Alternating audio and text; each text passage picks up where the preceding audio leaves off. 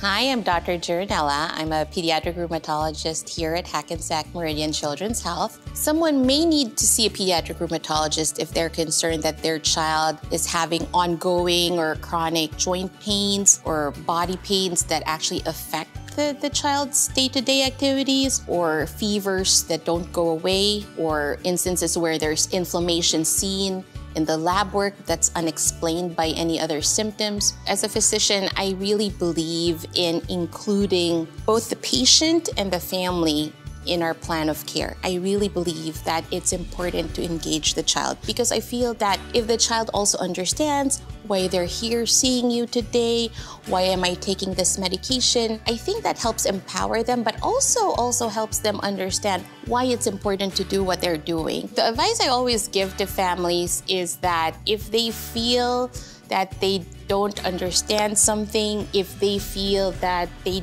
don't get their concerns addressed to speak up. I don't want them to feel that we're just telling them what to do, what you need to do. I also want them to be able to have some say in, in our plan of care.